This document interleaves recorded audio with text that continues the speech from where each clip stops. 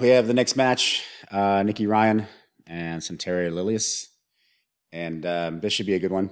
I have not seen this one, but um, I don't know. I think there's one more match after this. So far, uh, it's been pretty much a draw between the two teams. So uh, let's see. Uh, let's see what happens here. Um, and if you haven't clicked the link on the description, check it out. Uh, you can get access to all the strength and conditioning programs for the Sweet Science of Fighting Underground, and you can also submit your own footage. So let's uh, let's start it here. Okay, so I've I've seen a lot of Nicky Ryan matches, and I have uh, seen a couple of uh, uh, Lilius's uh, matches. So I'm curious to see how this goes down.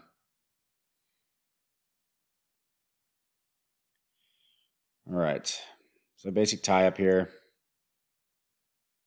hand fighting.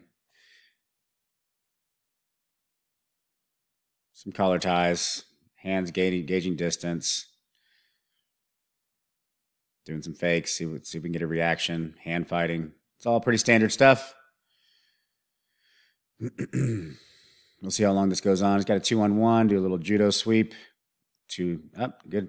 Went for a double, got a single. That was good. All right, so we're fighting the hands here. Looking for an arm drag position. Looking for a whizzer there for a second. That was nice. So uh, Nicky Ryan does something really good. I've, I've seen him do several times. That was basically uh, kind of going to a um, type of arm drag to a foot sweep on the far leg. Uh, this creates a bit of a trip or a stumble to where he can get, typically gain access to the back uh, and get a body lock uh, position. Okay. Looking for some snap downs here. Shaking the head, shaky, shaky. So a lot of this is hand fighting. It's very important. You know, I always say the hardest part, man, about this um, this fusion of wrestling and judo and jujitsu that's happening. A lot of the hard uh, the hard part is just the entry. Uh, at this level, everybody's so good at just you know gauging distance, monitoring inside position, not allowing you know two on ones. Um, it's just very hard to get an entry. But once you get an entry, even when once you get an entry, it can be uh, very difficult to actually finish. Uh, you can just you just saw that just now with uh, Ryan actually shot for a double, got the single, tried to do a trip, didn't get it. The guy the guy got out. So. Um, so yeah, this is going to be. This is why we spend so much time here of hand fighting. Little foot sweep there, so his little duck under, shot for the double. Looks pretty good. So he got the double. And uh, decided just to pull guard instead of trying to wrestle, stand up. So right off the bat, got control of the outside leg, uh, control on the uh, uh, or uh, position of with the left hand on the knee here, on the bottom knee, so you can kind of uh, start to steer the position. Um, again, I'll always say the top arm for the guard player and the top leg are generally going to be the issue. This is, this is, how you pummel back to the inside position. This is how you reset the guard over and over and over. One of the ways, at least. Good frames. Now we're entering into a reverse De La Riva position here. He's got a good frame up top. Nicky Ryan did uh, something interesting there. He was he was up, and then he decided to drop down and try to get connection to the upper body here. Um, if you look uh, the De La Riva position has somewhat changed because uh, Nicky actually dropped his left knee down uh, at an angle to the ground. So this is actually very different rather than his knee being uh, posted up here where reverse De La Riva really shines. If, uh, if, if Nicky Ryan's left knee was more like a knee ride position here and he was just kept driving forward, this would be uh, a little more control for the person on bottom. But since he decided to drop the knee at an angle right here, it also makes the grip very awkward for the person on bottom. So and you can see how his knee is over sticking between the legs here. Uh, traditional knee ride, his leg would be up top here. Now here we're going to see a switch. This is what uh, I've been talking about recently, and uh, you know we're seeing a lot of this open half guard uh, play, and we you're going to see a lot of transitioning from this Choi bar type of entries, the shoulder pinch, uh, and then going to the legs when the person retracts. So there's goes uh, Nicky Ryan went back to the knee ride position here We may see some posting here, some uh, kickstands. I always call it the kickstand. Uh, if uh, actually put his left hand, his uh, left hand here and posted it on his knee right here, he could do a kickstand with his elbow. That way, he's not trying to, he's not getting uh, bearing the weight, too much weight of uh, Nicky Ryan's uh, hips, trying to get that angle. It also prevents the angle for the knee slice. But he hasn't done that yet. He's just hand fighting right here. There's a lot of hand fighting in the open half now because uh, a lot of guys, besides the shoulder pinch and the uh, underhook on the legs to start to go for leg attacks. We're seeing a lot of arm drags on the forearm and Russian ties on the inside arm, um, and even arm drags on the inside arm to like back attacks and things like that. So this is uh, and also sweeps. So this is very complex guard. It's it's complex, but it's uh, it's very active. This is good, very active. So see, once Nicky Ryan postured back, he, he was able to get uh, Santeri was actually able to get the underhook on Nicky's uh, uh, right knee here, and so now that the underhook's there, uh, he can actually potentially start to get into leg attacks, leg entanglements, and Nicky's doing a good job here of trying to keep that connection to the upper body with his right hand. Uh, of course, he's gonna have to worry about the Choi bar here or the shoulder pinch. So now we see the leg going across so now we're entering into a possible reaping position uh, with the left foot here. If uh, can actually get his body facing this direction over here, um, he would be in more of a reaping position. This is a better, slightly better position for him to be in for leg attacks. Um, no issue here. Nicky Ryan's very comfortable in this position. Can use it to take uh, to try to take the back or do counter attacks. So we'll see how this goes. So first things first is uh, Nicky Ryan stands up and he gets uh, heavy on this leg. This is a classic uh, defense. Uh, it's actually one of the main defenses I've seen. Uh, one of the ones I use the most is just putting getting a heavy leg when somebody's attacking with a single leg X or ashigarami position or even a double outside ashi position. Um, I teach guys just to get on the to, to stand up on this on this leg. I'll generally get to, when I teach this, I'd say get you know put lean this direction to where you're trying to maybe even putting your hands on the mat here. Not that you want to put your hands on the mat, but just to show you what angle you want to have and stay kind of loose here. You may guys keep a heavy leg, but stay keep your upper body loose so that you can't be moved as uh, as well. Remember, if you stiffen up, whenever you stiffen up, your whole body connects together, and so any movement that I make from from the person on bottom's perspective, I'm going to be able to move your whole body. But if you loosen up, um, I'll only move portions of your body. This is very different. This is universal uh, uh, throughout jiu-jitsu. It's the wet blanket type of technique. So you see, he popped. Uh, Nicky popped his leg from the uh, right side to the to the left. To, I'm sorry, to the right to his right side to the left side, and now he's going to the other side. Now, what he's looking to here to do here is um, potentially is to uh, control the feet here, pin, start to push them down to pin the ground, to start to free the knee line, start doing a little bit of a back step here, potentially get into a back attack or side control. There's the back attack that that immediately he didn't even wait to even get a full back step. He's trying to get that pinch on this leg right here. He's going to try to throw him this way and attack his back. There's the back attack. And wow, that was that was beautiful. That's where I think that's actually worth watching again. Um, I, I, I suspected that's where that was kind of going. Let's watch it in live time here. So we got the reap. Nicky puts his leg to the other side, does the back step. There's the pinch, rolls through, takes the back.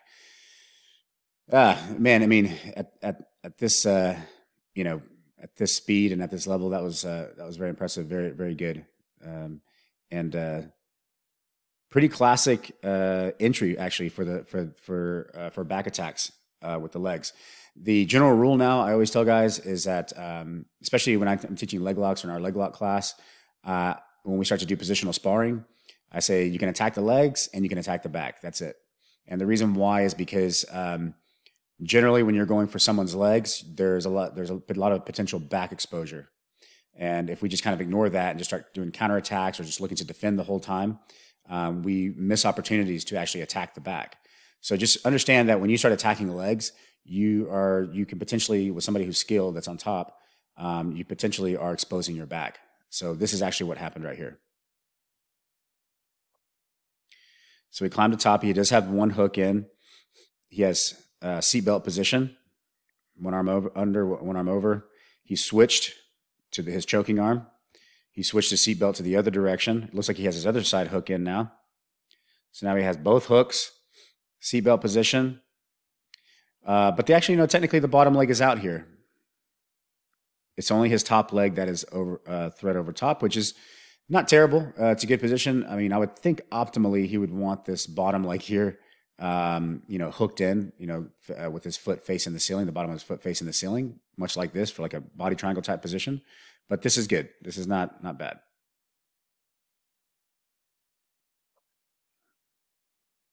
So because the bottom leg was uh, not the dominant leg that was actually controlling uh, the back, um, it was the top leg. You, can actually get to the, uh, flat to the mat here and actually start to uh, escape the back. Um, that was that was almost all of that was just due because of the leg position. The unfortunately the top leg was over top and not the bottom leg. Uh, not was not uh, up and hooking the back. Um, not at the backs of the mat. Obviously, climbing to the mount would be the next step. And he just went to the guard. Uh, Santeri actually recovered his guard, which is very good. So you notice here, what else I was talking about earlier. See the two on one here? A lot of times in this open half position now, guys are playing this two on one. And you can really destabilize your, your opponent here. And, you know, by pulling and again, going into arm drags and Russian ties, you can start to produce sweeps if you start to make hooks with your, with the, uh, with your, um, with your guard. Like this outside leg here becomes a hook you can start to really produce something here. And see, you can almost uh, even technically start to wrestle up. You're seeing a lot of guys here. If somebody retracts, you can actually technically wrestle up. There's another general rule I always tell people, and I said this on some of the other matches in this uh, quintet here, especially with uh, Nicky Rod. You watch Nicky Rod; he just kind of sits to guard. You know he's gonna. You know if you don't come forward, like really trying to pass, he's gonna go forward and he's gonna he's gonna do a single or a double uh, double on you. Um, so that's kind of the general rule now. The general rule is if the person is just kind of like not really passing, they're just kind of staying kind of neutral, or maybe they're just not even engaging at all. The general the rule now is to actually just go forward, wrestle up. And again, you don't have to be a great wrestler to do this. You already did the hard part, which is the entry and the connection. You should already have connection with the leg uh, and um, be able to produce something from that. So again, going into the reverse de la Riva position I think he does a good job here, always monitoring that top leg. He his left hand is actually always controlling this uh, the top leg, trying to monitor that that position, and uh, for the De La Riva position. And uh, you know the guy, uh, you know Santeri on bottom is actually doing a good job here. He's holding, you know, he's still staying in this reverse De La Riva, um, and he's using this. We'll watch with his right arm, keeping a good frame. This right arm is always the top arm is always the strong framing arm. And so we're seeing this uh, type of passing again, um, just so we can watch this one more time.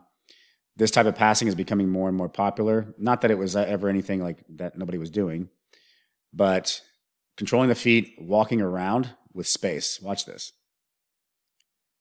So Nicky just kind of walks around, but controls the feet as he walks around and then drops his head in. And what he's trying to do is drop his head into the belly button region so that he can uh, essentially pin the hips down and the legs can no longer uh, thread over top. And then he can start to get chest to chest connection and gain, uh, get to north south position. Um, this has been used over and over and over again uh, at these uh, tournaments recently. So it's very effective. The problem is, is the person on bottom, uh, if they're a good guard and they keep their knees retracted, they keep their knees really retracted, and they deny the head position to the inside uh, then they can easily start to turn back around and start to recover guard. This is not the end of the uh, end of the pass though, because as they're spinning back around, you can actually the person on top can start to go to the opposite direction or start to produce another pass, as we're seeing here. Now he's going to the other side, the opposite side, uh, passing. And look, see, we can see here, right here. Look, you see how he's controlling the top two legs here, and he's kind of really far away, and he's just kind of walking around here. What this is doing this is a very critical point here. Uh, when you're playing guard, if you don't get, if you don't establish some form of connection, okay, so it's very important to understand that um, when you're playing guard, it's, you have to get a, a, establish a connection. What I mean by that is you have to establish some form, some kind of guard. Okay, um, at, at, at the general rule, as you're always saying, with when you're starting to learn guard, is you want to have four points of contact. You want both your legs, both your hands doing something connecting to the person, trying to destabilize them or or uh, hold them in some sort of way. What this type of passing does is it, it's because you're so far away, it kind of denies you, the person on bottom, really getting connection with their legs. They really need connection with their legs. If you look at most guards, all of it is, you know, obviously with, uh, you know, like K guards and Z guards and De La Rivas and reverse De La Rivas and shin on shin and butterfly and all these variations um, the legs obviously play a, a, huge part of this. And so, um, if you can deny the connection, like any kind of connection to really establish a guard for the person on bottom, there's really the person it puts the bottom per, the the bottom player in a position to where they really just have to you know frame and um, really try to manage their their their space. It makes them a little more frantic in trying to establish a connection. Um, so what this does is uh, for the person on top, this makes it a little easier for them to technically pass if they can start to if they can control the top leg here uh, and the uh, if they control the top leg and get connection with their hands. So top leg usually, and then of course on the knee here on the, on the other knee. Sometimes both both feet are con- are controlled. Sometimes there's a there's a grip on trying to get the inside position here. But there's always this kind of like distant kind of game being played for the person on top, almost like a tripod position. Um, uh, so this is what's happening uh, is that when Nicky Ryan is not allowing a connection for the person on bottom, he can actually start to circle around here. And yes, the person on bottom can follow, uh, but they don't. The person on bottom really doesn't has doesn't have a connection. And so what they're kind of left playing with is just kind of managing, you know, managing distance and really trying to control inside position and trying to establish some form of uh, a connection. So uh, in in this particular case, I, I, would say that it is it is an advantageous position for the person on top, uh, just as a general rule with this type of passing.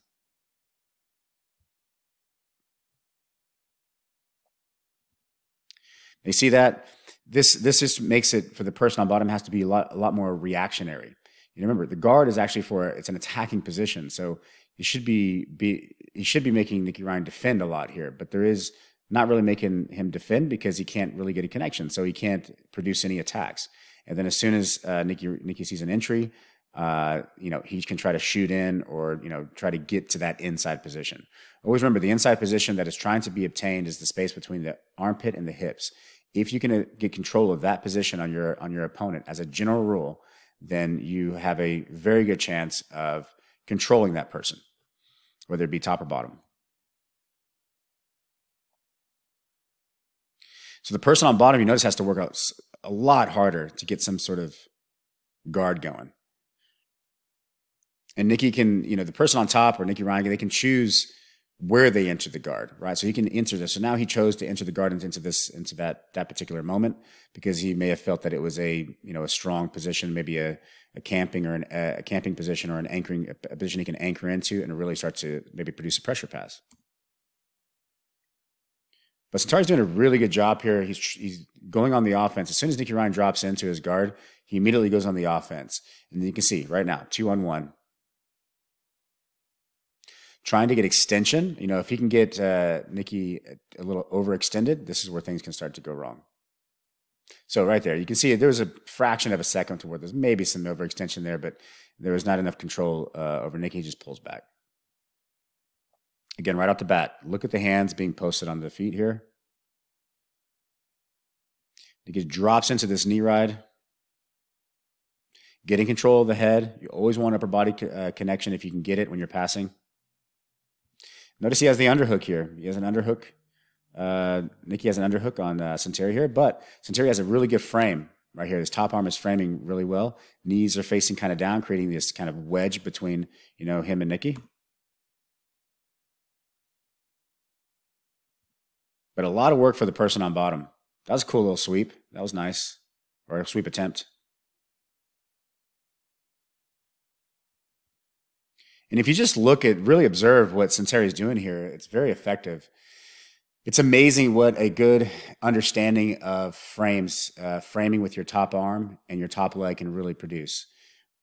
A lot of this movement, uh, is actually stopping the pass with this with his top arm. So if Nicky goes in this direction, he uses his top arm, his left arm, as the frame to prevent the pass.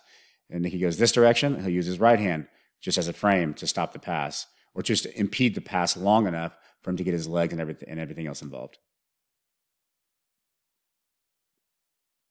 And don't get me wrong, Nicky's having to work really hard here. He's I haven't seen him stop moving here. He's, he just keeps consistently moving, and this is a good strategy as well. You know, if you can do this, uh, it's uh, it's it's very taxing on for the person on bottom. And I would just like to say also that there is a way to do this without actually, you know, people look at this sometimes and they're like, "Man, I don't have the cardio for that. This is crazy." But what there's a there's a big difference in in how you how energy is being used. You may not be able to see it here, but if you ever roll with these these guys or guys at this high level, uh, you'll you'll feel something a little different. They don't stop moving, but it's not like they're moving is very like um, they're not using a ton of energy to try to just grind through. Right, like the whole time is not hundred percent energy there are there are it's a kind of a lazy kind of movement where they're just kind of flopping themselves around in certain at certain points in time so that they can reserve that energy. So it's not the entire time you're just pressing 100%. Um, it's not that. There's a lot of this wet blanket kind of loose, uh, you know, dropping, uh, uh, flopping around kind of kind of thing that's happening. Um, now it's not just flopping randomly around. It's actually done with technique and trying to and using it to do for for timing but you can do this in a way that doesn't, you know, just deplete you completely. Um, this is a common misconception a lot of people have is they think they have to just keep moving, moving, moving, moving, and then they get tired.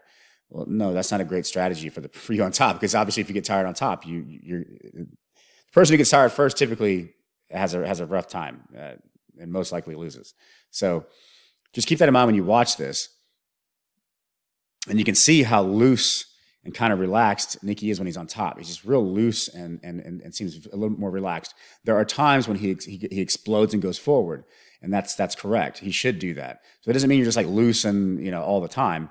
But when you're trying to create an angle, you are a little more loose and more wet blanky, making the person kind of carry your weight. And then when you see the opening and the timing's correct, then you use your energy and use your explosive movement. All right, so they're going to reset to the center.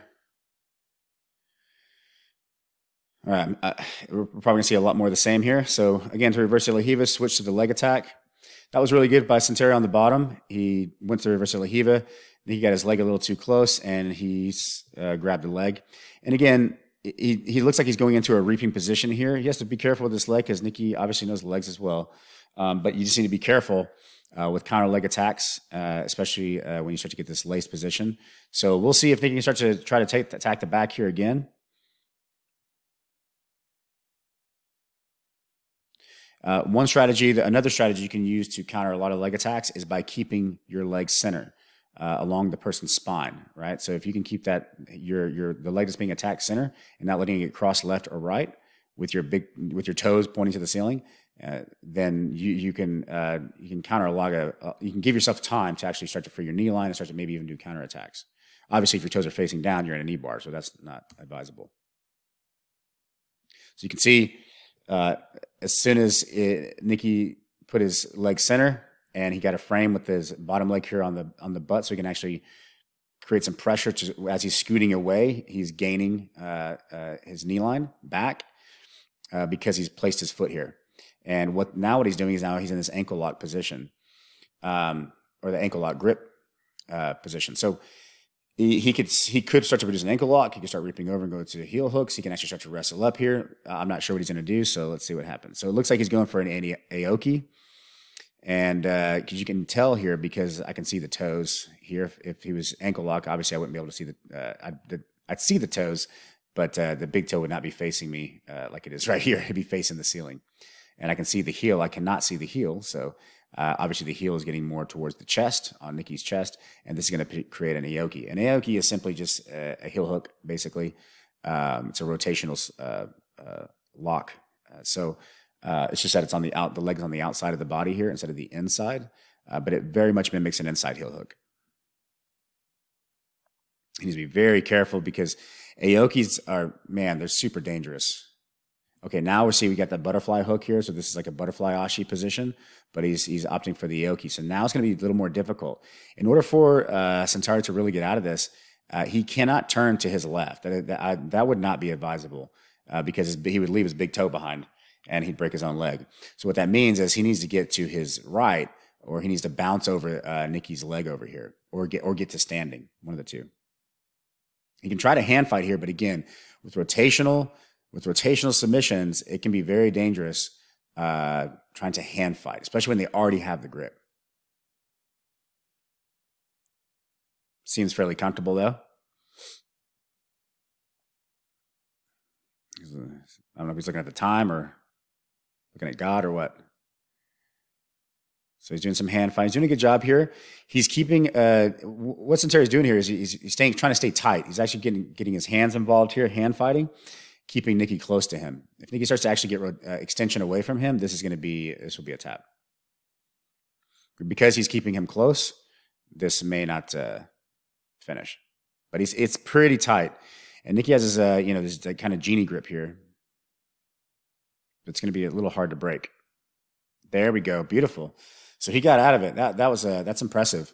Um, you know when when I watch these guys, you know it's uh, I in a in a in a training session, I would not encourage anyone to do that in a training session. don't don't uh, hand fight like that, and with somebody on a full locked in uh, Aoki with the butterfly hook. Uh, but you know, at this level, you know, certainly do it hand fight. And you know, he's young. Both these guys are pretty young. They're flexible, I'm sure, to a certain degree, and knowledgeable. You know, I'm sure he knew he was fairly safe there, staying connected. Okay, so this will be interesting. This I haven't we haven't seen Nicky on his back yet. Possible false reap. Same kind of thing being played here. Nicky goes to the reverse de la Riva, looking for that possible false reap position, reaching it, going over. But, uh, you know, notice in Santeri here, he's actually pushing that foot down to the ground here, pushing the knees, the, the foot down or the knee down. This is freeing his knee line, so he doesn't have to worry too much about that. Nicky has a two on. So he's going to the underhook uh, reverse de la Riva. This is when you, you lace the, your arm under the leg and then lock it in. This is actually a very good position. This is uh, makes it much easier for you to invert technically. Um, not that it's hard to invert with a regular reverse de la Riva, but with this grip on the reverse de la Riva, this already orientates your shoulder here to get to the ground, and so you can actually start to invert. Uh, the problem is, is that uh, is actually controlling the outside leg, which is actually going to make it very difficult uh, for uh, Nicky to, if you wanted to invert, to invert. But you can see Nicky's uh, other arm, his left arm here. He's kind of trying to grab the other leg here, which is which is good, good strategy. Terry's aware of that, so he just kind of drops that knee down. He's peeling that leg off. Nicky's kind of staying there loose. There we go. Yep. Understand with that with that kind of grip on reverse la Riva, you can't just pull your leg out like you're you're stuck to the person.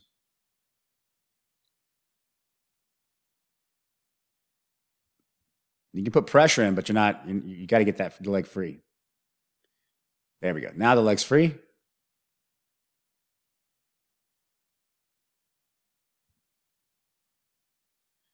Yep. Going back to that grip. See the grip there? He went back to the grip, reverse de la Riva, and Santeri is actually pushing that down to the ground. Smart. Does a high step out, switches over to go to a knee ride. He's trying to get connection to the upper body, but he pushed that too fast. Got a little overcommitted. But now, but he went, now they got overcommitted. As he came back, he grabbed the heel. Missed it. I think he's on top. So this just happened because he moved too fast. He tried to get go too quickly. Nicky overcommitted him a little bit when he tried to press press through, and then he was stuck trying to go for a leg lock at the last second. and didn't have really good uh, control of the position, and then lost the position. That's okay. I mean, it was worth going going taking the shot. So just some standard hand fighting here, a little bit of pressure passing. Nicky's actually lacing his left arm through the knee, through the legs now. It's good. Now we have to fight the two on one. There's a two on one. That was a good sweep. That was a really good sweep by Santeri on the bottom. Now they're back up. So let's get some wrestling going. They got about a minute and a half to go. Okay, so now they're going to wrestle. Don't ever underestimate hanging on the guy's neck with these collar ties, just really constantly pulling their head down it's pretty exhausting. Underhook, that was beautiful. Santeri was did a really good job there, ducking uh, his underhook under and trying to do a throw by. Nicky pulls guard.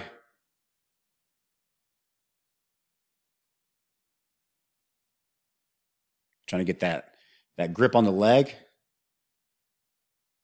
Gable grip, trying to reap, take his leg to the other side. So now we're entering into a pin position. This is pretty good. You know, uh, Santeri has a good position here. He's got the pin on the on Nicky Ryan's arm here, controlling the outside arm, so it's not can't frame. Um, but he still has to contend with this hook right here, with Nicky's hook. Can't pass with that with that with that hook here. Um, always remember, you know, the, the, the diamond concept and all these things that we've talked about forever, which is, you know, your knee should always be technically retracted in these type of positions. When this person is this far and this high, your knee should be retracted. Again, your inside position is from this from this space to your armpit. If you can deny that space, you can do that very easily by retracting your knees. Okay.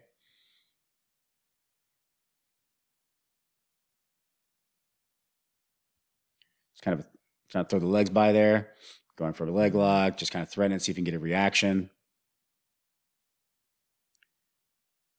Oh, he's smacking the arm out of the way. That's that new like punch the frame out of the way. Good. He's getting a little more. It's a little more faster pace because he's running out of time. So he's trying to trying to produce something. So he's he's he's picking up the pace.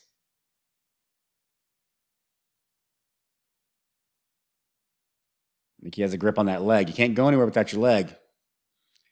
So he flops to the other side. If you notice when Nicky's recovering his guard, it's always that outside leg. That outside leg is always pummeling back to the inside. So as good of a job as Santeri is doing by cutting the angle and trying to get to the side, Nicky always takes that top leg and just pummels it back through. And then of course he always has the top frame here. Again, you see it again. You see the top leg here, pummel back in. The inside knee here is retracting. This is all guard retention stuff. And you can maybe see a little bit of a, a kickstand here on that arm with that arm. You see there? So there's a little bit of this kickstand stuff going on to frame with the leg here. And look at the leg pummeling back to the inside. Boom. As soon as the leg pummels back to the inside, you're reset back to the guard.